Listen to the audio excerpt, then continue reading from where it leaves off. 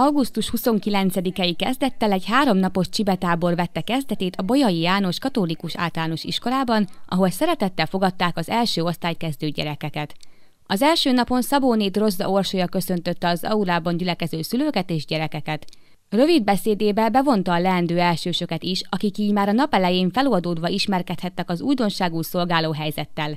Bemutatta az alsós igazgatóhelyettest, a felsős igazgatóhelyettest, és természetesen az osztályfőnököket is megismerhették az iskola új tagjai. A tábor alatt a gyerekek találkozhatnak osztálytársaikkal, tanáraikkal és magával az iskola épületével. Nem egyszerű megszokni az iskolakezdés okozta változásokat, de bíznak benne, hogy ez a pár nap nagyban hozzá fog járulni egy vidám tanévhez.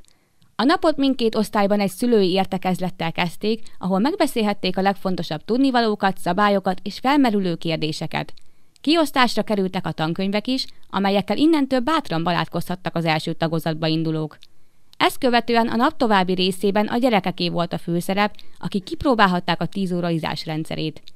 Az étkezés után az egyik osztály egy játékos gyakorlatban vett részt, ahol az iskola pszichológusával szórakozhattak együtt, kialakítva egy barátságos és bizalmi viszony közöttük.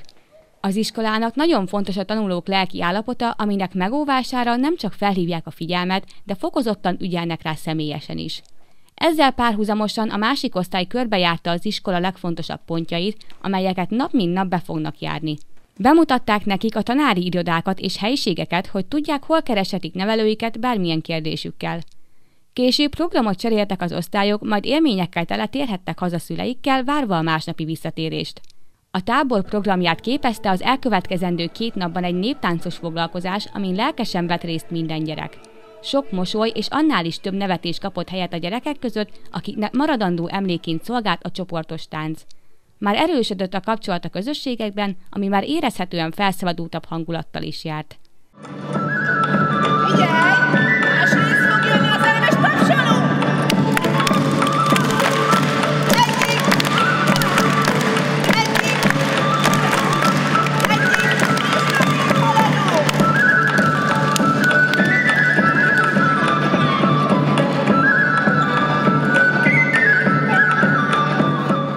Csibetábor utolsó napján megtapasztalhatták a csapatokba rendeződött versenyek érzését, amit egy sportfoglalkozás során próbálhattak ki.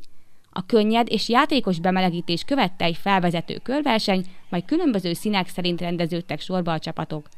Ebben a felállásban vette kezdetét az igazi verseny, amit egytől egyig nagyon élveztek a gyerekek. Mindenki a maximumot nyújtotta annak érdekében, hogy csapatuk minél jobb helyen végezhessen.